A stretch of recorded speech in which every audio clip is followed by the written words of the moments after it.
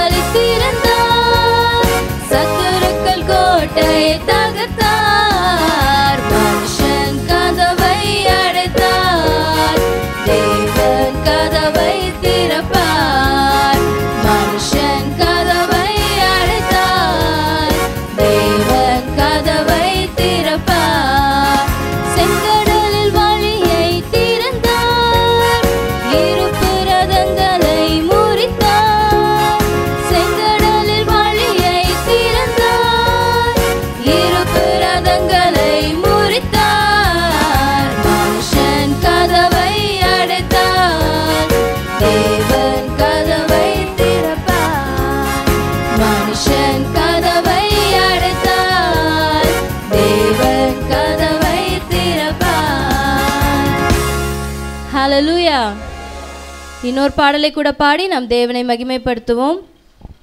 பரலோக தேவனே உம்மை ஆராதனை செய்கிறோம் என்ற பாடலை எல்லோரும் சேர்ந்து கரங்களை தட்டி பாடுவோம்.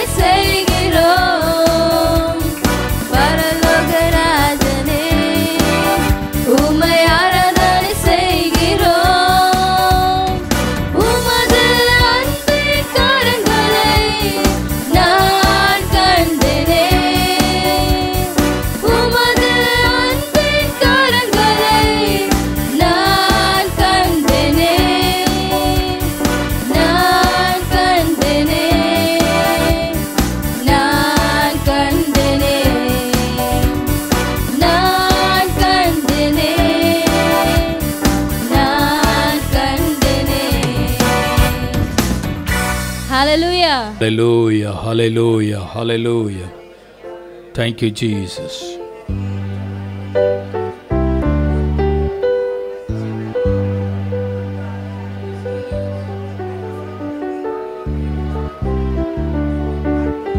துதிப்போம் எல்லாரும் கத்திர ஸ்தோத்திரம் பண்ணுங்க. ஹாலலூய பரிசுத்தமுள்ள தேவனை மகிமைப்படுத்தும்படியாக இந்த காலை நேரத்தில் இப்படி ஒரு நல்ல பாக்கியத்தை தேவன் நமக்கு தந்திருக்கிறார். எத்தனையோ பேருக்கு கிடைக்காததை எத்தனையோ பேர் அழுகையிலும் வேதனையிலும் மரண இருளின் பள்ளத்தாக்குகளிலும் அவர்கள் கடந்து போய் கொண்டிருக்கும் பொழுது சுகமாக தேவன் கிருபையாக நம்மளை பாதுகாத்து தேவ சமூகத்தில் வந்து ஆண்டவரை உயர்த்த ஆண்டவரை மகிமைப்படுத்த கர்த்தர் நமக்கு கிருபை தந்திருக்கிறாரு. அந்த தேவனுக்கு எண்ணத்தை செலுத்த விரும்புகிறீர்கள்.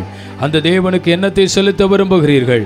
ஹalleluya அல்லருவாய்களை திறந்த ஆண்டவரே உமக்கு நன்றி என்று சொல்லி கர்த்தர் மகிமைப்படுத்த போகிறோம். ஹாலலூயா அவர் சொன்னதை நிறைவேற்றுகிற ஆண்டவர்.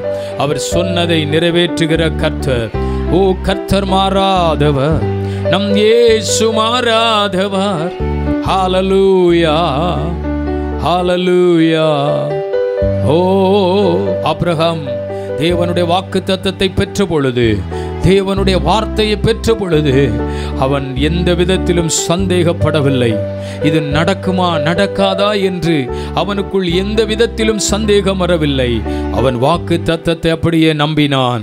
ஆமேன் இந்த அருமையான நாளிலே தேவனுடைய வாக்கு தத்தங்களை விசுவாசிக்கிறீர்களா? கர்த்தருடைய வார்த்தைகளை நம்புகிறீர்களா? நிச்சயமாய் சொல்லுகிறேன் நீ நம்புகிறது அவராலே வரும் என்று எழுதியிருக்கிறது. ஆமே நம்புகிறது இயேசுவால் வரும். ஹalleluya. அவர் சொன்னதை நிறைவேற்றுகிற கர்த்தர். ஆமே நிச்சயமாகவே முடிவு உண்டு. உன் நம்பிக்கை வீண் போகாது. கத்த எனக்கா யாவையும் செய்து முடிப்பா? ஓ கர்த்த எனக்கா யாவையும் செய்து முடிப்பா? சொன்னதை செய்யும் வரை அவர் என்னை கைவிடுவதில்லை சொன்னதை.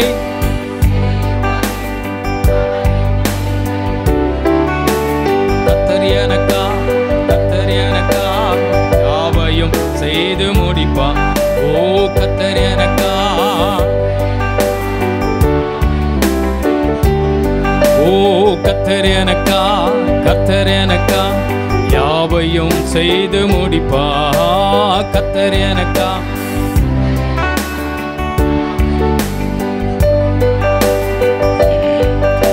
அவர் சொன்னது நிச்சயமாய் நம்முடைய வாழ்விலே நடக்கும் என்று. விசுவாசத்தோடு சொல்லுங்கள் நீர் சொன்னது நடக்குமோ? சந்தேகம் எனக்கு இல்லை. நீர் நினைத்தது நிலை நிற்குமோ பயம்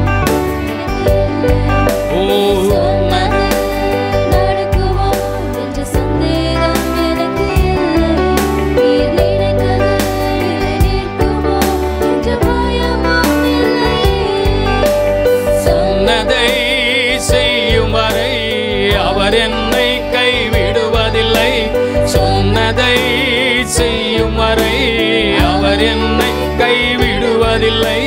கத்தர் எனக்கா கத்தர் எனக்கா யாவையும் செய்து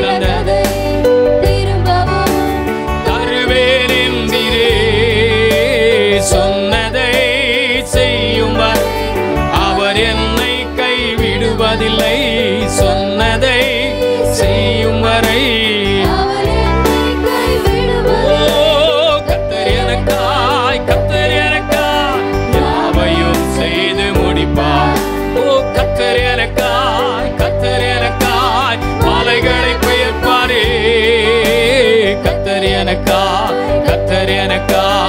யாவையும் செய்து முடிப்பா? ஓ கத்தர் எனக்கா? மலைகளை பெயர்ப்பாரே. காலவழியில் சொல்லுங்க. நீ சொன்னது நடக்கும் ஆண்டவரே. எனக்கு சந்தேகமே இல்லப்பா. கர்த்தருடைய வார்த்தை நான் விசுவாசிக்கிறேன். அது அப்படி ஆகும் ஆண்டவரே. நீ சொல்ல ஆகும் நீ கட்டளையிட நிற்கும் என்று வேதம் சொல்லுகிறது. ஹalleluya நீ சொன்னது நடக்குமோ? இது சந்தேகம் எனக்கு இல்லை. நினைத்தது நிற்குமோ? இந்த பயமும் எனக்கு இல்-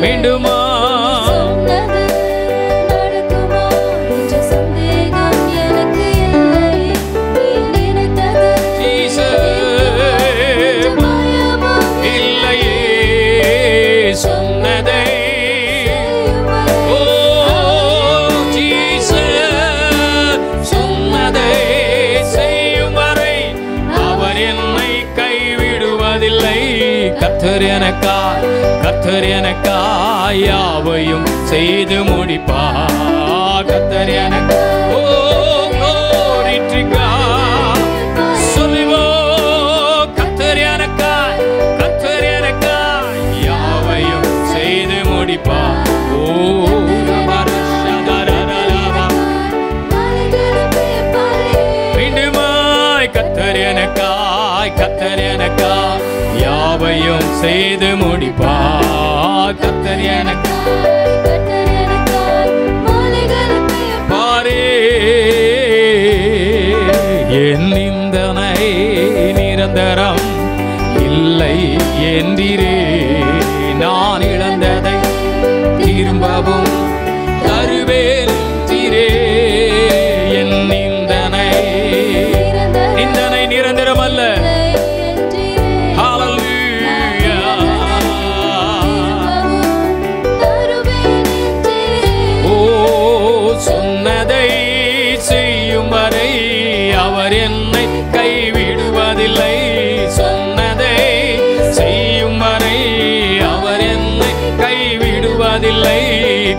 எனக்கா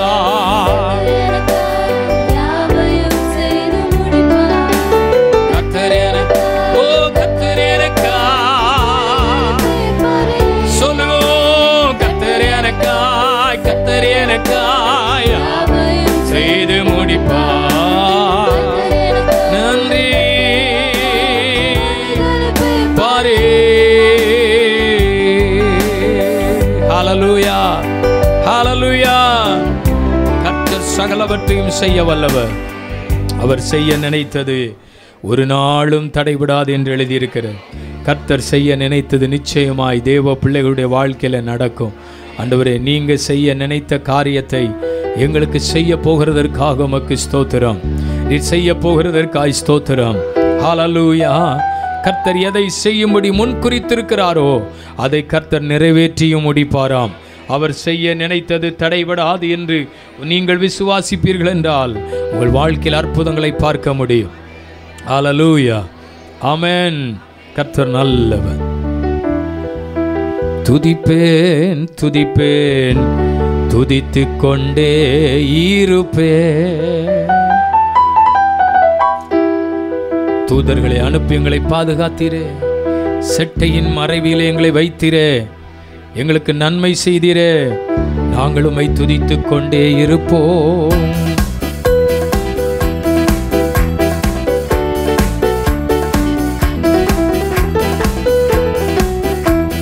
என்றும் ஆனந்தம் என் தருகிறார்.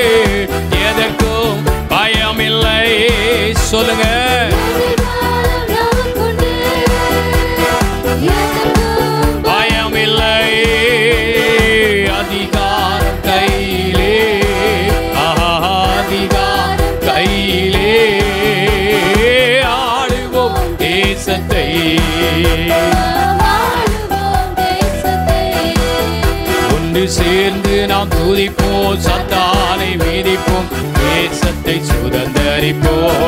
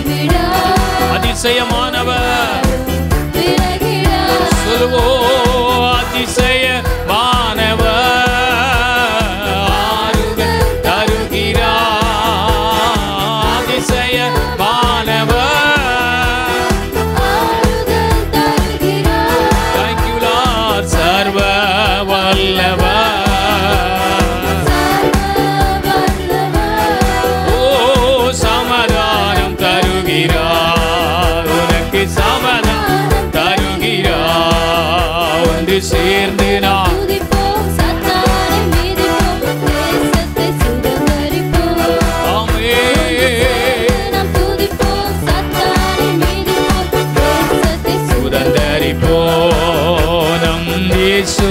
நல்லவர் ஒருபோதும் கைவிடா. ஒரு நாளும் விலகிடா. நம் நல்லவர். சொல்லுங்க பாருங்க. ஒருபோதும் ஆமே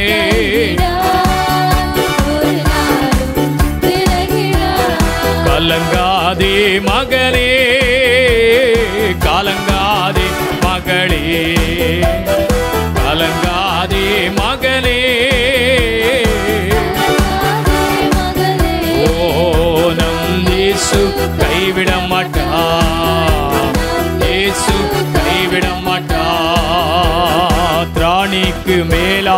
சோதிக்கப்பட ஒரு நாளும் விட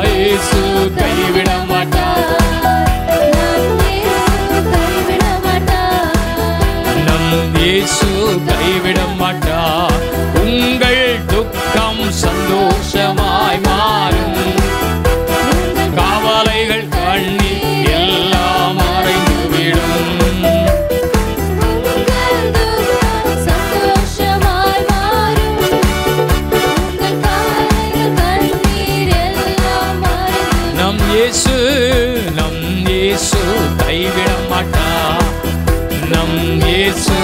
எல்லாரும் சொல்லுங்க என் இயேசு என் இயேசு கைவிட மாட்டா நம் இயேசு கைவிட மாட்டா கரங்களை தட்டி விடுதலையோட கைவிடாத நேச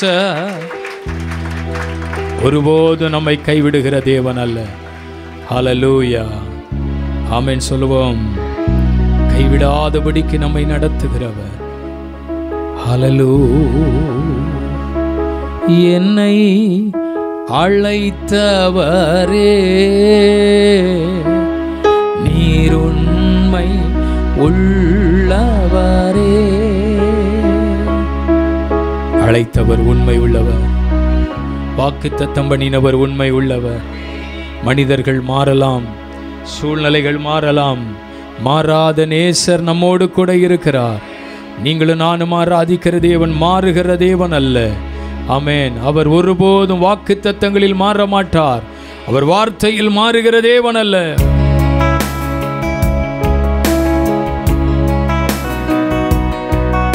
ஓஹோ உம்மை ஆராதிக்கிறோ. ஓஹோ உம்மை ஆராதிக்கிறோ. இயேசுவே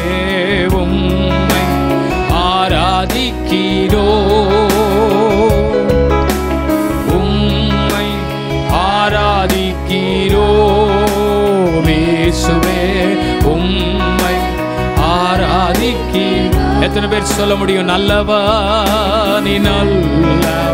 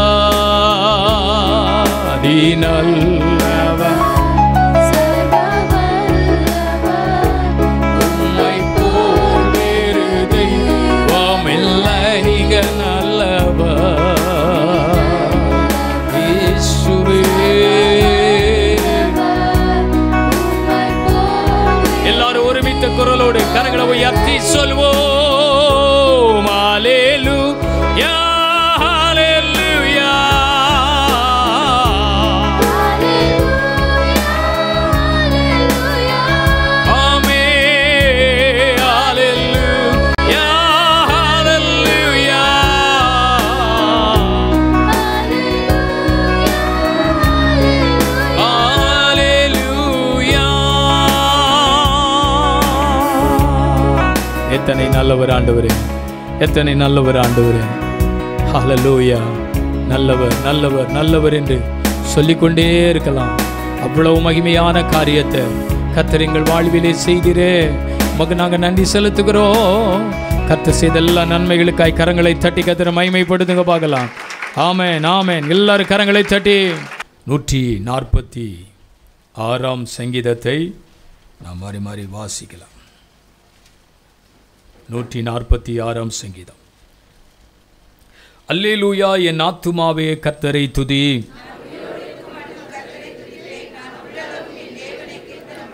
பிரபுக்களையும் ரட்சிக்க திராணி இல்லாத மனுப்புத்தன்னையும் நம்பாதேயுங்கள்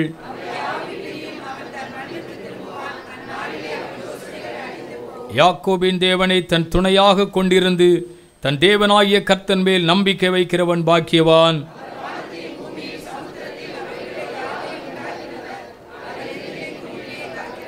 அவர் ஒடுக்கப்பட்டவர்களுக்கு நியாயம் செய்கிறார். பசியாயிருக்கிறவர்களுக்கு ஆகாரம் கொடுக்கிறார். கட்டுண்டவர்களை கத்தர் விடுதலையாக்குகிறார்.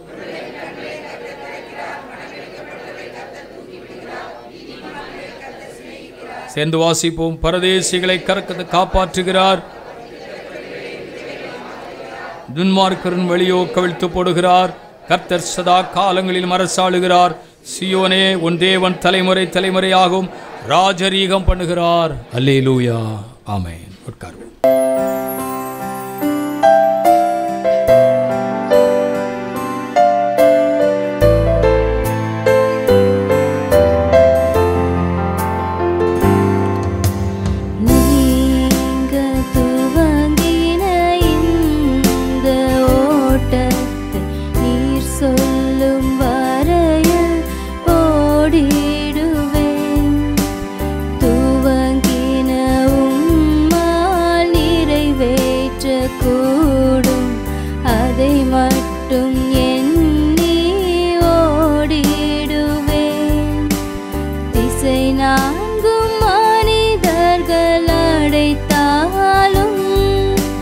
नानो कुमोरति सैनि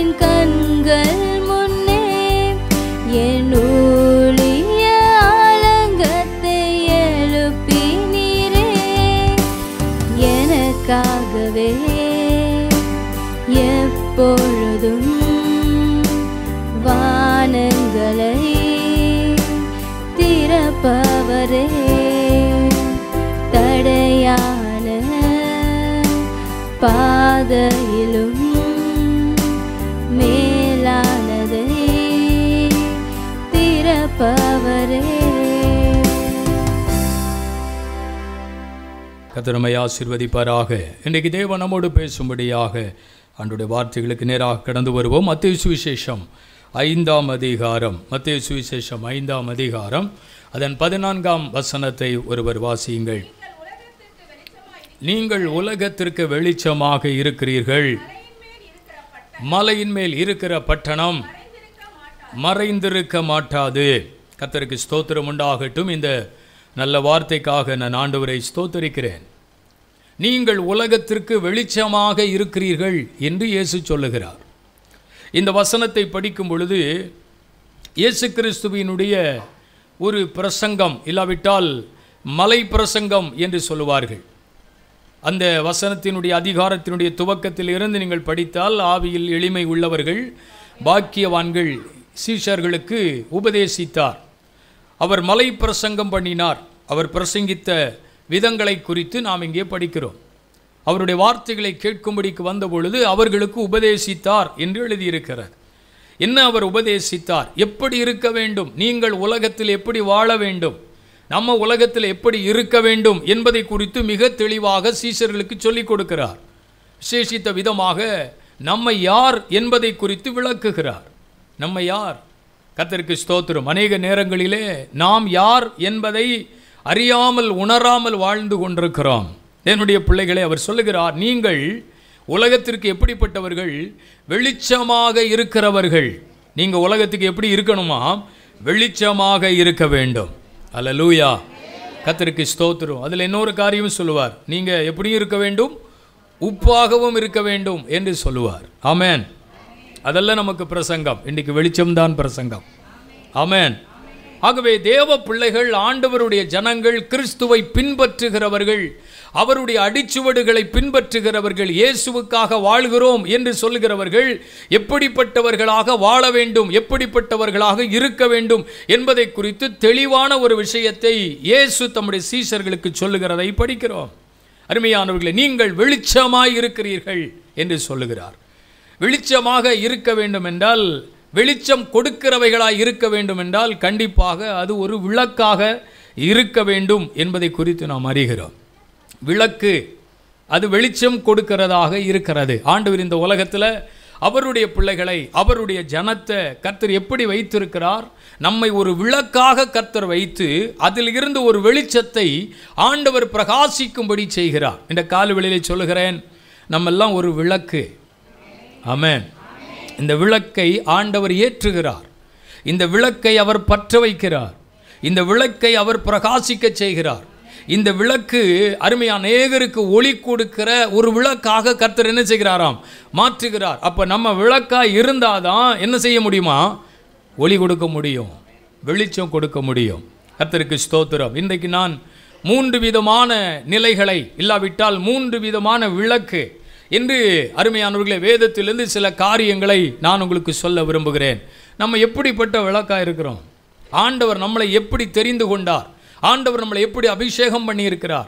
நம்ம யாரு? நம்ம எப்படிப்பட்டவர்கள்? இந்த உலகத்தில் தேவன் நம்மை வைத்திருக்கிற நிலை என்ன என்பதை குறித்து நாம் ஆராய்ந்து இந்த காலவில் நம்முடைய ஆவிக்குரிய நிலைகளிலே ஒரு வித்தியாசத்தை ஆவிக்குரிய நிலைகளில் ஒரு மாற்றத்தை ஆவிக்குரிய நிலைகளில் ஒரு உயர்வை பரிசுத்த ஆவியானவர் தம்முடைய ஜனங்களுக்கு கொடுக்க வேண்டும் என்று விரும்புகிறார். பல நேரங்களில் ஆசீர்வாதத்தை குறித்து பிரசங்கிக்கிறோம். நாம் ஆசீர்வதிக்கப்பட வேண்டும் என்று பிரசங்கிக்கிறோம்.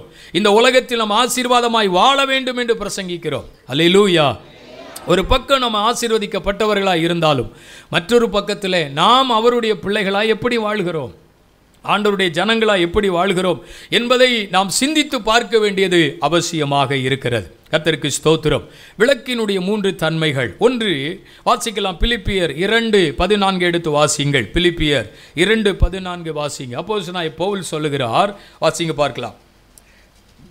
பிலிப்பியர் ரெண்டு பதினான்கு.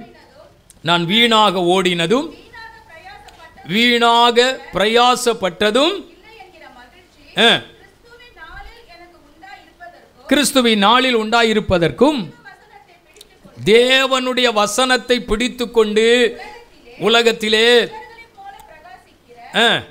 சுடர்களை போல பிரகாசிக்கிற நீங்கள் சுடர்களை போல பிரகாசிக்கிற நீங்கள் என்று எழுதியிருக்கிறார். அப்போ நாய் பவுல் சொல்லுகிறார் நீங்கள் உலகத்திலே சுடர்களை போல பிரகாசிக்கிறவர்களாய் இருக்கிற நீங்கள் ஒன்று பிரகாசிக்கிற விளக்கு. எல்லாரும் சொல்லுங்க பிரகாசிக்கிற அல்ல லூயா கத்திற்கு ஸ்தோத்திரம். பிரகாசிக்கிற விளக்கு. போல் சொல்லுகிறார் இந்த பூமியிலே நீங்கள் சுடர்களை போல பிரகாசிக்கிறீர்கள் என்று சொல்லுகிறார்.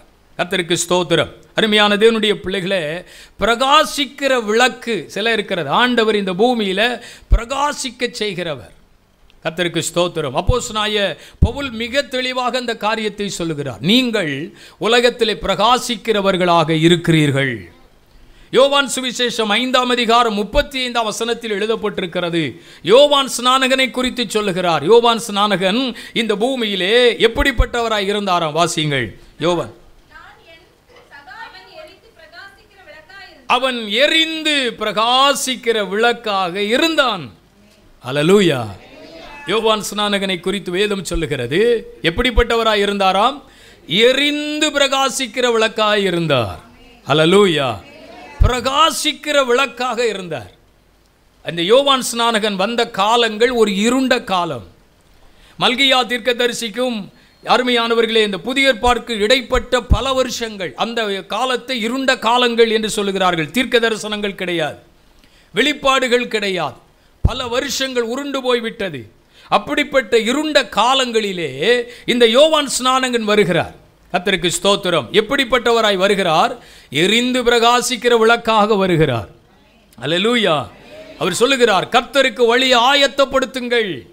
நீங்கள் வேதத்தை படித்தால் மிக தெளிவாக எழுதப்பட்டிருக்கும் கர்த்தருக்கு வழியை ஆயத்தப்படுத்துங்கள். யோவான் மூன்றாம் அதிகாரம் ஒன்றாம் வசனத்தில் இருந்து அந்த வசனங்களை நீங்கள் படிச்சீங்கன்னா இயேசு கிறிஸ்துவுக்கு முன்பு இயேசு கிறிஸ்து உலகத்தில் வருவதற்கு முன்பு யோவான் ஸ்நானகன் வந்து பிரசங்கம் பண்ணுகிறார். எப்படி பிரசங்கம் பண்ணுகிறார்? மனம் திரும்புதலை குறித்து பிரசங்கம் பண்ணுகிறார். அல்ல லூயா இவருடைய வார்த்தைகள் இவர் பேசின வார்த்தைகளை கேட்டு ஜனங்கள் மனம் திரும்பினார்கள். யோவான் ஸ்நானனுடைய பிரசங்கம் சாதாரணமான பிரசங்கம் அல்ல. அவனுடைய உடையை குறித்து எழுதியிருக்கிறது அவனுடைய உணவை குறித்து எழுதியிருக்கிறது. என்ன உணவா அவருக்கு? யோவான் ஸ்நானம் என்ன சாப்பிட்டாரா? வெட்டுக்கிளியும் காற்றுத்தேனும் யாராவது இங்கே வெட்டுக்கிளி காற்றுத்தேன் சாப்பிட்டவங்க இருக்கீங்களா? கவனிங்க நம்மளுடைய உணவு முறைகளே வேறு. ஆனால் அவர் எப்படி சாப்பிட்டு வந்தாரா? வெட்டுக்கிளியும் காற்றுத்தேனும் சாப்பிட்டாரா? அவருக்கு போட்டிருந்த ட்ரெஸ்ஸை பாருங்க. அவருடைய அவர் அவருடைய ஸ்டைலே வேறு வித்தியாசமாக இருந்தது. தேவனால் அனுப்பப்பட்டவன். இயேசுவை முன்னறிவிக்கும்படி அனுப்பப்பட்டவன் இயேசுவுக்கு வழியை ஆயத்தப்படுத்தும்படி வந்தவன். இருண்ட காலங்களிலே கத்திரவனை எழுப்புகிறார். அவனுடைய பிரசங்கம் எப்படி இருக்கிறது? அவருடைய வார்த்தை எப்படி இருக்கிறது? எப்படி பேசுகிறார் பாருங்கள். விரியன் பாம்பு குட்டிகளே வரும் கோபத்திற்கு தப்பித்து கொள்ள. பாருங்க அவர் எப்படி பேசுகிறார் பாங்க நம்ம சகோதரரே பிரியமானவர்களே அன்பானவர்களே அப்படின்னு சொன்னான். அப்படியா? அப்படின்னு கேட்பாங்க. அவர் எப்படி பேசுகிறாரு விரியன் பாம்பு குட்டிகளே அப்படிங்கிறாரு. அவருடைய பிரசங்க ஸ்டைலே வேறு தான் ஆமேன்னு சொல்லுவோம் பார்க்கலாம். ஒவ்வொருத்தருக்கும் ஒவ்வொரு ஸ்டைல் இருக்கும். எல்லாரும் ஒரே மாதிரி பேச முடியாது. ஒவ்வொருத்தருக்கும் ஒரு தரிசனம் இருக்கும் ஒவ்வொருத்தருக்கும் ஒரு அழைப்பு இருக்கும்.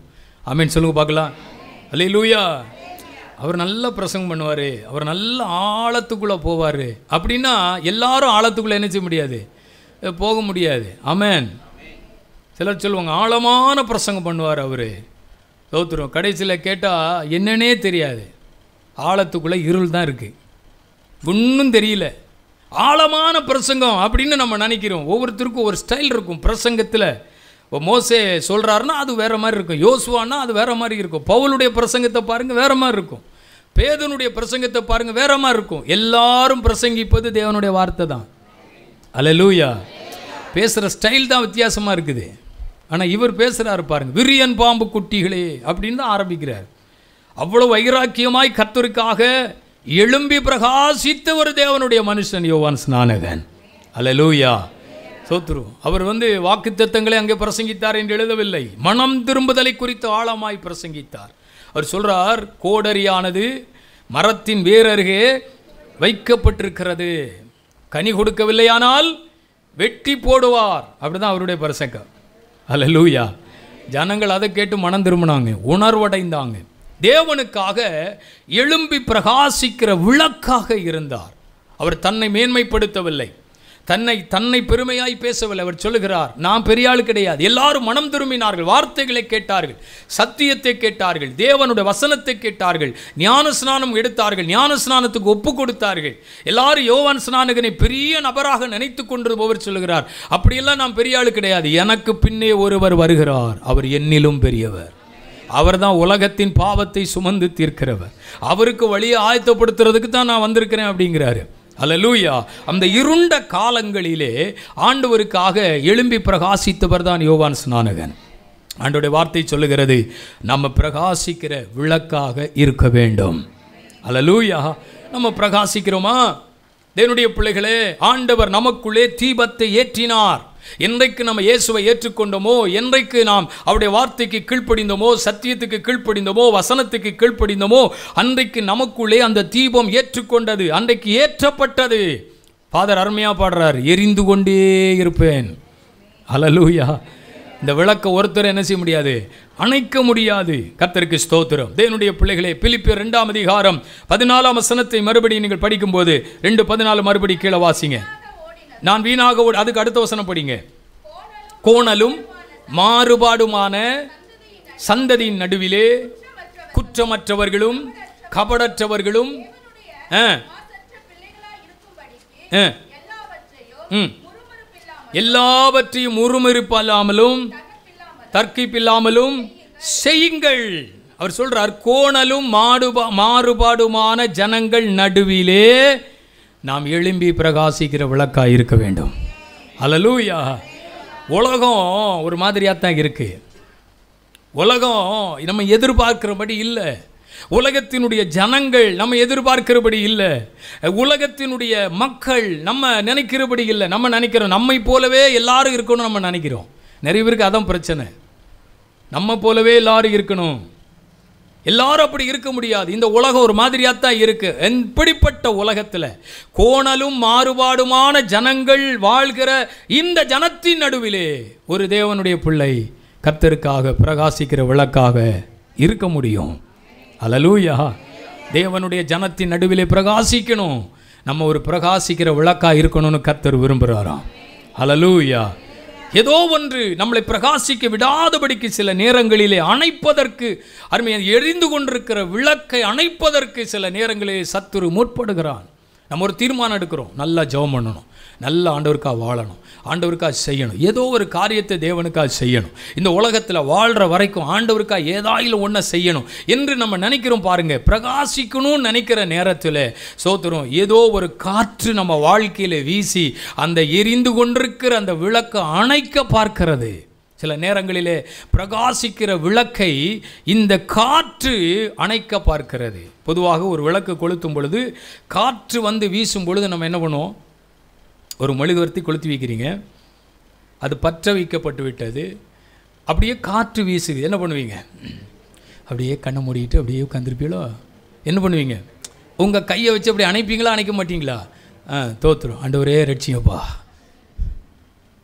காற்று சில நேரங்களில் பிரகாசித்து கொண்டிருக்கிற விளக்கை அணைக்க பார்க்கிற நிறைய பேருடைய வாழ்க்கையில் உபத்திரவம் பாடுகள் துன்பங்கள் எரிந்து பிரகாசிக்கணும்.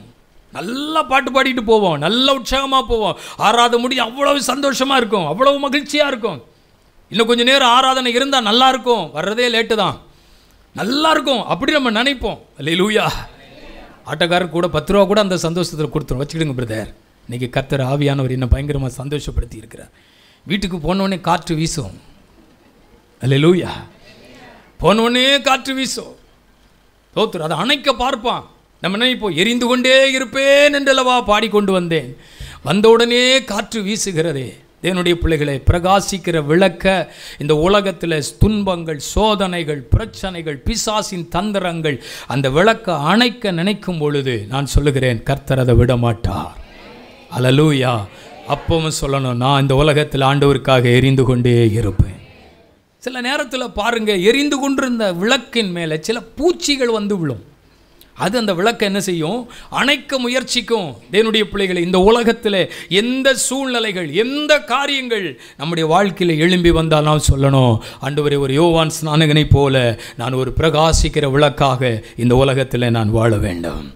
அதைத்தான் சொன்னால் நீங்கள் உலகத்திற்கு வெளிச்சமாக இருக்கிறீர்கள் கர்த்தர் அதை தான் நம்முடைய வாழ்க்கையில் செய்ய வேண்டும் என்று விரும்புகிறார். இரண்டாவது ஒரு விளக்கை நம்ம தியானிக்க போகிறோம். எஸ்ஐயா நாற்பத்தி இரண்டாம் அதிகாரம். அந்த மூன்றாம் வசனத்தை படியுங்கள். நாற்பத்தி இரண்டு மூன்று வாசிங்க. எஸ்ஐயா நாற்பத்தி ரெண்டு மூன்று. அவர் நெறிந்த நாணலை முறியாமலும் மங்கி எரிகிற திரியை அணையாமலும் இருக்கிறவர். ரெண்டாவது ஒரு விளக்கு நான் உங்களுக்கு சொல்லட்டும். முதல்ல சொன்னேன். பிரகாசிக்கிற விளக்கு. இன்னும் சில விளக்குகள் எப்படி இருக்கிறதா? மங்கி எரிகிற விளக்காக இருக்கிறது. விளக்கு இருக்கு. விளக்கு எரியுது. ஆனால் என்ன இல்லை? பிரகாசம் இல்லை. அது மங்கி எரிகிற விளக்கு. கத்தருக்கு ஸ்தோத்திரம். தேவனுடைய பிள்ளைகள் நிறைய பேருடைய ஆவிக்குரிய நிலைகள் அப்படிதான் இருக்கிறது. நிறைய பேருடைய ஆவிக்குரிய நிலைகள் வாழ்க்கையில் இப்படிதான் இருக்கிறார்கள். மங்கி எரிகிற விளக்காக இருக்கிறார்கள். விளக்கு நல்ல விளக்கு தான் எல்லாமே லீபனோனின் விளக்கு தான் அலலூயா சொல்லுங்க. கத்திற்கு ஸ்தோத்திரம். சொன்னால் சொல்லுவாங்க நாங்கள் லிபனோன் சபைக்கு நாங்கள் போயிட்டுருக்கோம். நாங்கள் அங்கே உள்ள வழக்கு தான். அலலூயா நீங்கள் எங்கே சர்ச்சுக்கு போகிறீங்க நாங்கள் லீபனோனுக்கு போகிறோம் தோத்துறோம் எல்லாமே லீபனோனில் உள்ள வழக்கு தான். ஆனால் எப்படி எரியுது? அலலூயா நிறைய விளக்கு மங்கி எரியுது. இந்த கொரோனா வந்ததில் இருந்து நிறைய விளக்கு. எப்படி தான் எரியுது? மங்கி தான் எரியுது. இல்லைன்னு சொல்லல. விளக்கு நல்லா தான் இருக்குது பார்க்க அழகாக பிரகாசமாக கழுவி சுத்தப்படுத்தி நல்லா தான் இருக்குது அல்ல லூயா பார்த்தோன்னே சொல்லுவான். நீங்கள் ஏதோ ஒரு ஆவிக்குரிய சபைக்கு போகிற மாதிரி தெரியுது. ஏன்னா எப்போ பார்த்தாலும் ஸ்தோத்திரம் தான். உட்காந்தாலும் ஸ்தோத்திரம் எழுந்தாலும் ஸ்தோத்திரம் நடந்தாலும் ஸ்தோத்திரம் யாராவது திட்டுனாலும் ஸ்தோத்திரம் கால் தட்டி விழப்போனாலும் ஏசோபா ஸ்தோத்திரம். அப்போவுமே கண்டுபிடிச்சிருவாங்க. இது எங்கேயோ உள்ள ஒரு வழக்கு தான் அப்போ நம்மகிட்ட கேட்குறாங்க நீங்கள் ஆவிக்குரியவர்கள் மாதிரி தெரியுது. உங்கள் முகத்தை பார்த்தா ஆவிக்குரியவர்கள் போல தெரியுது. ரட்சிக்கப்பட்டவர்களை போல தெரியுது. பரிசுத்தவான்களை போல தெரியும் ஆமாம் நாங்கள் ரசிக்கப்பட்டிருக்கிறோம் இத்தனை வருஷத்துக்கு முன்னாடி ரசிக்கப்பட்டேன் இத்தனை வருஷத்துக்கு முன்னால் ஆண்டவரை ஏற்றுக்கொண்டேன். அப்படியா? இப்போ எங்கே போகிறீங்க நாங்கள் லீபனோன் சபைக்கு போகிறோம் நாங்கள் அங்கே உள்ள விளக்கு தான் அல்லேலூயா கத்தருக்கு ஸ்தோத்திரம். ஆமேன். அப்போ எனக்காக கொஞ்சம் ஜெபம் பண்ணுவீங்களா? முன்னாடி நான் உங்களை எல்லாருக்காக ஜெபம் பண்ணுவேன். இப்போ எனக்கு ஜெபம் வரமாட்டேங்க காரணம் விளக்கு மங்கி எரியுது. அல்லேலூயா முன்னால் தேசத்துக்காக ஜெபம் பண்ணுவேன். முன்னால் ஜனங்களுக்காக ஜெபம் பண்ணுவேன். அதிகாரிகளுக்காக ஜெபம் பண்ணுவேன். ஆத்துமாக்கள் ரட்சிக்கப்பட ஜெபம் பண்ணுவேன். நம்ம பாஸ்டருக்காக ஜெபம் பண்ணுவேன். அவருக்கு என்னங்க இப்போ? அல்லேலூயா எல்லாருக்காக ஜெபம் பண்ணுவேன். ஆனால் இப்போ எனக்கு ஜெபமே ஜெபம் பண்ணி ஜெபம் பண்ணி ஜெபம் பண்ணி அவங்க தான் நல்லா இருக்காங்களே தவிர நம்ம வாழ்க்கையில் நல்லாவே இல்லையே. சோத்துரும் மங்கி எரிகிற விளக்கு. நல்லா கவனிக்கணும் அருமையான தேவனுடைய பிள்ளைகளை. ஏன் விளக்கு மங்கி எரியுது? ஏன் விளக்கு பிரகாசமாக இல்லை அப்படின்னா அது கருந்திரியாக இருக்குது கருந்திரியாக இருக்குது அப்போ அந்த கருந்திரி அகற்றப்பட்டால் நம்ம எல்லாம் ஒரு காலத்தில் விளக்கு ஏற்றி வந்தவர்கள். அப்படிதானா? முன்னாலெல்லாம் பல வருஷத்துக்கு முன்னாலெல்லாம் நம்ம வீட்டிலலாம் விளக்கு தானே இப்போ தானே லைட்டு இப்போ எல்லாம் இப்போ தானே வந்துச்சு. ஆரம்ப நாட்களில் அறிக்கை லைட்டுன்னு இருந்தது பெட்ரோமாஸ் லைட்டுன்னு இருந்துச்சு. தோத்துரும். இன்னும் நிறைய விளக்கெல்லாம் இருந்தது பாருங்கள் சில வீடுகளில் குத்து விளக்கு இருந்திருக்கும். அப்படி தானே ஆமாம் இப்போ கூட சிலர் வீடுகளில் என்ன இருக்குது ஆ? பார்த்து தான் போனோம். குத்து விளக்கு. அல்லேலூயா. குத்து விளக்கு. நல்லா கவனிங்க. நிறைய விளக்கு. இதெல்லாம் நம்ம ஏற்றி வந்தவர். நமக்கு தெரியும். தோத்துரும். அப்போது இந்த விளக்கு எரியலை அப்படின்னா என்ன காரணம்னா அந்த திரியில் கருந்திரியாக இருக்குது அதனால தான் மங்கி எரியுது. நல்லா கவனிக்கணும். பிரகாசிக்கப்பட முடியல. நம்ம சொல்கிறோம் நான் பிரகாசிக்க முடியல. ஆண்டவருக்கா செய்யணும்னு நினைக்கிறேன். ஆண்டவருக்கா வாழணும்னு நினைக்கிறேன். தேவனுக்கா செய்யணும்னு எல்லாம் எனக்குள்ள ஆசை இருக்குது ஆனால் ஒன்றுமே முடிய மாட்டேங்குது. இன்னைக்கு நிறைய பேர் எப்படி இருக்கிறோம்? அருமையானவர்களே மங்கி எரிகிற விளக்கா இருக்கிறோம். இது இது பிரகாசிக்கப்படணும்னா கருந்திரிகள் அகற்றப்படணும். அலலூயா முன்னால் கோபமே வராது. இப்போ எதுக்கு எடுத்தாலும் கோபம் வருது. அதான் கருந்திரி. முன்னால் வைராக்கியமே வராது. கர்த்தர் பார்த்துக்கொள்வார் கர்த்தர் பார்த்துக்கொள்வார் கர்த்தர் பார்த்துக்கொள்வார் என்று சொன்னோம். ஆனால் இப்போ சொல்கிறோம் அல்ல அவனை ஒரு கை பார்க்காம. கருந்திரி. அல்லலூயா ஆமாம் முன்னால் எரிச்சலே வராது. இப்போ பார்த்தா எப்படி இருக்குது உயிரோட விழுங்கிடலாமான் இருக்கு. ஓத்துணும் அது ஒரு கருந்திரி. வாக்குத்தத்தம் பிரசங்கம் பண்ணுனா அல்லேலூயா ஆமேன். ஆசீர்வாதம் பிரசங்கம் பண்ணால் ஒரு ரெண்டு ஸ்டெப்பு மேலே வேற போயிட்டு கீழே வந்து உளுந்துடுறோம். தோத்துறோம் நம்மளை சரிப்படுத்தணும்னு சொன்னால் தோத்துறோம் இவ்வளவு பொறுமையாக பிரசங்கம் கேட்பீங்க நான் நினைக்கவே இல்லை. அல்லையா சொல்லுங்க. அல்லேலூயா. ஐயா விளக்கு இருக்குது ஆனால் எரியுது பிரகாசம் இல்லை. கர்த்தருக்கு ஸ்தோத்திரம். தேவனுடைய பிள்ளைகளே மற்றவர்களை குற்றப்படுத்துதல். மற்றவர்களை எப்போ பார்த்தாலும் குற்றப்படுத்துதல். அது சரியில்லை இது சரியில்லை அப்படி சரியில்லை இப்படி சரியில்லை அது அப்படி இருக்கு இது இப்படி இருக்கு என்று பல நிலைகளிலே குற்றப்படுத்தி கொண்டே இருப்பது. மற்றவர்களை குற்றப்படுத்துவது அது நமக்கு கொடுத்த ஊழியம் அல்ல அது நமக்கு கொடுத்த கிருவையும் அல்ல. வேதம் சொல்லுகிறது மற்றவர்களை குற்றவாளியாய் தீர்ப்பதற்கு நீ யார்? உனக்கு போக்கு சொல்ல இடமில்லை அலலூயா. அலலியா சொல்லுங்க பார்க்கலாம். குற்றப்படுத்தி கொண்டே இருப்பது நேருக்கு ஒன்றாய் பேசுவது மறைமுகமாய் ஒன்று பேசுவது. கத்திற்கு ஸ்தோத்திரம். இதனால தான் இது கருந்திரி இது என்ன செய்கிறது? மங்கி எரிய இது பிரகாசத்தை கொடுக்கக்கூடாதபடிக்கு தடை செய்கிறது. ஆமீன் சொல்லுவோம். நம்ம எப்படி இருக்கிறோம்? மங்கி எரிகிற விளக்கா இருக்கிறோமா? இன்னைக்கு கருந்துரியெல்லாம் வெட்டணும். ஆமேன் சொல்லுங்க. ஆமேன். வைராக்கியங்கள் கோபங்கள் எரிச்சல்கள் பொறாமைகள் வீண்பழிகள் குற்றப்படுத்துகள் இப்படிப்பட்ட காரியங்கள் நமக்குள்ளே இருந்தால் பிரகாசிக்க முடியாது. பிரகாசிக்க முடியும் அந்த விளக்கு எப்படி தான் எரியும்? மங்கி தான் எரியும். பிரயோஜனமற்ற விளக்கு இருக்கும். ஆனால் அது பிரயோஜனமற்றதாக இருக்கும். இந்த நாளிலே ஒரு யோவான் ஸ்நானகனை போல ஆண்டவருடைய பிள்ளைகள் அருமையானவர்களை பிரகாசிக்கிறவர்களாய் எரிந்து பிரகாசிக்கிறவர்களாய் இருக்க வேண்டும் என்று கர்த்தர் விரும்புகிறார். அலலூயா அவர் நெறிந்த நாணலை முறியாமலும் மங்கி எறிகிற திரியை பார்த்தீங்களா ஆண்டவர் அதை அணைத்து போடணும் விரும்பலையா? அதை சரிப்படுத்தணும்னு கர்த்தர் விரும்புகிறாராம் இது மங்கி எரிகிறது இந்த விளக்கு. இது பிரகாசம் கொடுக்கல. அப்படின்னா இது பிரயோஜனம் இல்லை. அப்படின்னு அதை தூக்கி போடாதபடிக்கு அதனுடைய கருந்திரிகளை எல்லாம் வெட்டி அதை சருப்படுத்தி மறுபடியும் அந்த விளக்கை எரிய செய்ய வேண்டும் என்று என் தேவன் விரும்புகிறார் என்றால் நம்முடைய வாழ்க்கையிலும் கர்த்தர் அதை செய்யணும்னு விரும்புகிறார். மூணாவது ஒரு விளக்கு. அது என்ன விளக்கு தெரியுமா? எரியாத விளக்கு. அல்லேலூயா. இந்த விளக்கு விளக்கு இருக்கும். அது ஒரு நல்ல பாத்திரம். ஆனால் எரிவதற்கு எண்ணெய் இல்லை. வாசிங்க மத்திய சுவிசேஷம் இருபத்தி ஐந்தாம் அதிகாரம். ஒன்றாம் வசனத்திலிருந்து படியுங்கள். பரலோக ராஜ்யம். ம்.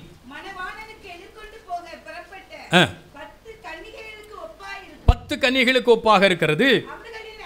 அவர்களில் ஐந்து பேர். புத்தி உள்ளவர்கள். ஐந்து பேர் புத்தி இல்லாதவர்களுமாய் இருந்தார்கள். புத்தி இல்லாதவர்கள் தங்கள் தீவெட்டிகளை எடுத்துக்கொண்டு போனார்கள். என்னை கொண்டு போகவில்லை.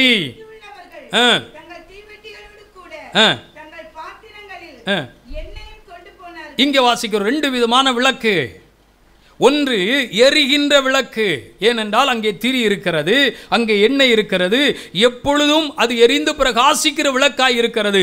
ஆனால் இன்னும் ஐந்து பேரை குறித்து புத்தி இல்லாதவர்கள் என்கிற ஒரு நிலைகளிலே ஆவியானவர் சொல்லும்போது சொல்லுகிறார் விளக்கு இருக்கிறது ஆனால் எரிய வைக்க முடியாது. காரணம் என்ன தெரியுமா? அந்த பாத்திரத்தில் எண்ணெய் இல்லை. பிரயோஜனமற்ற விளக்கு. கர்த்தருக்கு ஸ்தோத்திரம். அருமையான தேவனுடைய பிள்ளைகளை பாத்திரம் இருக்குது விளக்கு இருக்கிறது. ஆனால் அது பிரயோஜனமற்றதாக இருக்கிறது. பிரகாசிக்க முடியவில்லை. அது எழும்பி பிரகாசிக்க முடியவில்லை. மற்றவர்களுக்கு இருளில் இருக்கிற ஜனங்களை வெளிச்சத்திற்குள் கொண்டு வர முடியவில்லை. மற்றவர்களை ஆதாயப்படுத்த முடியவில்லை. ஏதோ ஒரு விதத்திலே பிரயோஜனமில்லாதபடிக்கு பிரயோஜனமற்ற விளக்காக இருக்கிறது. இந்த காலவேளையிலே கர்த்த நம்மை பார்த்து சொல்கிறார் நீங்கள் உலகத்திற்கு வெளிச்சமாக இருக்க வேண்டும். அதற்குத்தான் கர்த்தர் நம்மை தெரிந்து கொண்டார். அநேகருக்கு ஆசீர்வாதமாய் இருக்கும்படி தெரிந்து கொண்டார்.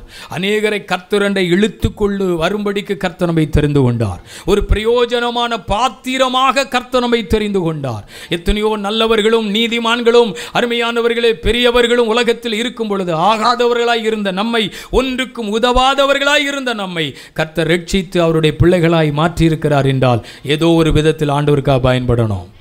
ஆமென் சொல்லுங்க. அல்லேலூயா. தேசத்துக்காக ஜெபம் பண்ணணும் ஊழியங்களுக்காக ஜெபம் பண்ணணும் ஜெபிக்கிறவங்களா இருக்கணும். ஜெபிக்க முடியல தேவ ராஜ்யத்தை கட்டுகிறவர்களாக இருக்கணும். தேவ ராஜ்யத்தை கட்டுறதுக்கு கொடுக்கிறவங்களா இருக்கணும். ஆண்டவருடைய ராஜ்யத்தை கட்டுகிறவர்களாக இருப்போம் என்று சொன்னால் அது நம்மை பிரகாசிக்க செய்யுமா? ஏதோ ஒரு விதத்தில் நம்ம பிரயோஜனப்படணும்னு கர்த்தர் விரும்புகிறாரு தேவ பிள்ளைகளை யோசித்து பாருங்கள். கர்த்தர் நம்மளை ரட்சித்தது உண்மை அது ஒரு பாத்திரம். ஆண்டவர் நம்மை அரு அருமையை அழைத்து கொண்டு வந்தது உண்மை அது ஒரு பாத்திரம். ஆனால் இன்றைக்கு நம்ம எப்படி இருக்கிறோம்? எண்ணெய் என்பது பரிசுத்தாவியானவருக்கு ஒப்பனை. அருமையான தேவனுடைய பிள்ளைகளை எண்ணெய் இல்லை. கடைசியில் மணவாளன் வந்துட்டார். அவர்கள் எண்ணெய்க்காக ஓடி போகிறார் இருக்கிற இடத்துல போய் கேட்டார்களாம். எங்களுக்கு கொஞ்சம் எங்களுக்கு கொடுங்கள் என்று கேட்டார்கள் சொன்னார்கள் எங்களிடத்தில் இல்லை. அதை போய் விற்கிறவரிடத்தில் போய் கேளுங்கள் என்று சொன்னார்கள். என்னுடைய பிள்ளைகள் அதற்குள்ளே மணவாளன் வந்துவிட்டார். கதவும் அடைக்கப்பட்டது. அப்படின்னு எழுதியிருக்கு.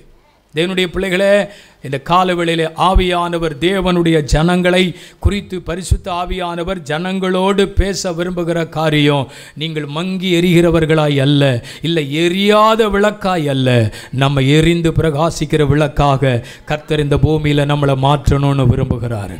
ஒருவேளை நம்முடைய ஆவிக்குரிய நிலைமை எப்படி இருக்கு? யோசித்து பாருங்கள் நான் தேவனோடு உள்ள உறவு எப்படி இருக்கு யோசித்து பாருங்க. தேவனோடு உள்ள காரியம் எப்படி இருக்கு யோசித்து பாருங்க. அவர் வாசலருகே வந்து விட்டார் அவருடைய வருகை சீக்கிரம். தேவனுடைய பிள்ளைகளை இந்த உலகம் உலகத்தினுடைய ராஜ்யங்கள் உலகத்தில் நடக்கக்கூடிய காரியங்களை எல்லாம் பார்க்கும் பொழுது இயேசு வாசலருகே வந்து விட்டார் என்றுதான் அர்த்தம். ஆனால் நம்ம அதற்கு ஆயத்தமா இருக்கிறோமா? நம்ம அதற்கு ஆயத்தமாக இருக்கிறோமா? இன்றைக்கி ஒரு தீர்மானத்தோட தேவ சமூகத்தில் ஜெபிக்கணும். ஆண்டவரே நாங்கள் எரிந்து பிரகாசிக்கிற விளக்காய் கர்த்தர் எங்களை இந்த பூமியிலே மாற்ற வேண்டும்.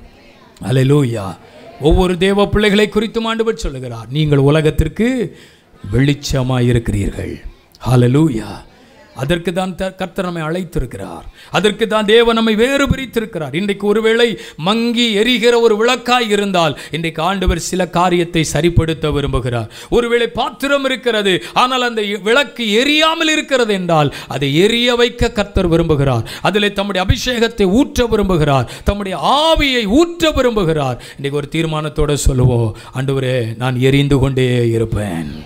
ஹலலூயா காற்று வறுமையானவர்களே சூழ்நிலை போராட்டங்கள் சத்ருவின் கிரியைகள் நயவஞ்சகங்கள் மனுஷனால் வருகிற அஹ், அருமையானவர்களே பிரச்சனைகள் பிசாசினால் வருகிற போராட்டங்கள் எரிந்து கொண்டிருக்கிற இந்த விளக்கை அணைக்க ஒருவராலும் முடியாது. அதற்கு ஒப்பு கொடுக்கவும் கூடாது. இன்றைக்கு ஆண்டவர்கிட்ட கேட்க போகிறோம். ஆண்டவரே நான் உமக்காக பிரகாசிக்கிற விளக்காய் என்னை இந்த பூமியிலே மாற்றும். எழும்பி நிற்போம் எல்லாரும். ஜெபத்திற்காக தேவ சமூகத்தில் எழும்பி நிற்கலாம். இந்த கால்வெளியில் ஒரு தீர்மானத்தோட ஜோம் பண்ணுவோம். நம்ம யாரு? நம்மளை கத்தர் எதுக்கு அழைச்சிருக்கிற இருக்கிறார். நம்ம எப்படிப்பட்டவங்க? ஏன் தேவன் நம்ம இந்த பூமியில் நம்மளை தெரிந்து கொண்டார்? நீங்கள் உலகத்திற்கு வெளிச்சமாக இருக்கிறீங்க. இன்னைக்கு ஒப்பு கொடுத்து ஜெபம் அண்டு ஒரு சுடர்களை போல பிரகாசிக்கிற நீங்கள். ஹலலூயா ஆமேன். மாறுபாடான ஜனங்கள் நடுவிலே கோணலான ஜன கோணலா நடக்கிற ஜனங்கள் நடுவிலே நீங்கள் எரிந்து பிரகாசியுங்கள். ஒரு யோவான் ஸ்நானகனை போல அண்டு ஒரு எரிந்து பிரகாசிக்க எனக்கு உதவி செய்யும். எத்தனை பேர் இந்த நாளில் அப்படி ஜெபிக்க விரும்புறீங்க?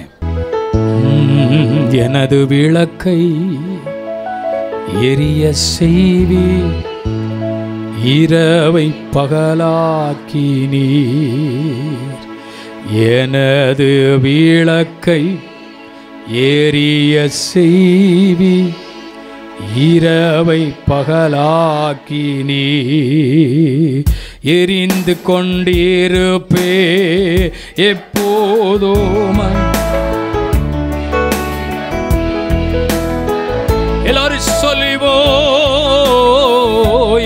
செய்து கொண்டீரோ?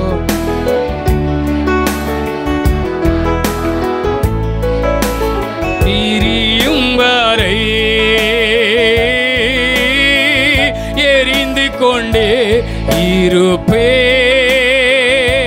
இருப்பேன். எப்போதுமே உமக்கா என் ஜீவன் பிரியும் வரை கொண்டே இருப்பே என் ஜீவன் இயேசுவே தீர்மானத்தோடு சொல்ல போகிறோம் இன்னொரு முறை எல்லாரும் சொல்ல போகிறோம் ஆண்டவரே ஒரு யோவான் ஸ்நானகனை போல நாங்கள் எரிந்து பிரகாசிக்கிற விளக்கால் தாவித அருமையாய் சொல்லுகிறார் தேவரீர் என் விளக்கை ஏற்றுவீர்கிறார் இன்றைக்கு ஆண்டவர் உங்களுக்குள்ள அணைந்து கிடக்கிற விளக்க பற்ற வைக்கணும்னு ஆண்டவர் விரும்புகிறாராம் ஹalleluya ஒருவேளை உங்க ஜெப வாழ்க்கை அணைந்து கிடக்கலாம். உங்களுடைய வைராக்கியம் தீர்மானங்கள் அணைந்து கிடக்கலாம். இன்றைக்கு ஆவியானவர் உங்களுக்குள்ள பற்ற வைக்க விரும்புகிறார். ஒருவேளை உபவாசம் அணைந்து போயிருக்கலாம். சில தீர்மானங்கள் அணைந்து போயிருக்கலாம். சில அபிஷேகம் அணைந்து போயிருக்கலாம். சில செய்த ஊழியங்கள் இப்ப செய்யாமல் அணைந்து போயிருக்கலாம். இன்னைக்கு காலையில் கத்தர் உங்களை பற்ற வைக்க விரும்புகிறாரு மறுபடியும் மறுபடியும் மறுபடியும் நெறிந்த நாளிலே முறியாதவர்.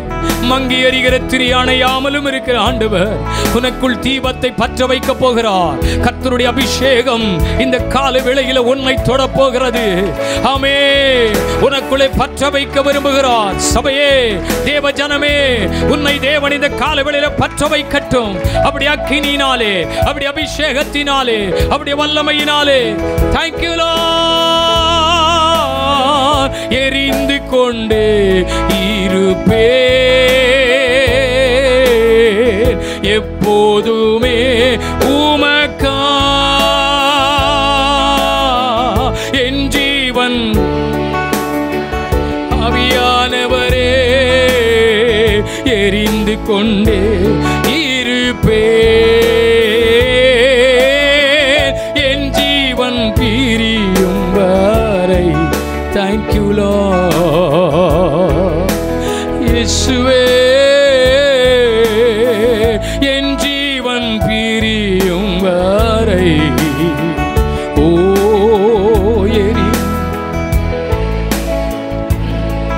வெட்டப்பட வேண்டிய சில சுபாவங்கள் வெட்டப்படட்டும். அகற்றப்பட வேண்டிய சில சுபாவங்கள் அகற்றப்படட்டும். ஓ கர்த்தர் நம்மளை பயன்படுத்தட்டுமே. கர்த்தர் நம்மை பயன்படுத்தட்டுமே. நம்மளை பிரகாசிக்கிறவர்களாய் மாற்றட்டுமே. அநேகருக்கு பிரகாசமாய் இருளில் இருக்கிற ஜனங்களை வெளிச்சத்திற்குள்ளே கொண்டு வருகிறவர்களாய் கர்த்தரமை மாற்றட்டும். அப்படிப்பட்ட தேவ கிருபையை அப்படிப்பட்ட அபிஷேகத்தை இந்த காலவேளையில் ஆண்டவர் சபைக்கு கொடுப்பாராக ஜனத்துக்கு கொடுப்பாராக. எஸ் எஸ் எஸ் ஒவ்வொருவர் மேலும் இப்பொழுது அவருடைய அபிஷேகம் இறங்கி வருவதாக. உடவர் சந்தல ரகலர கதரலா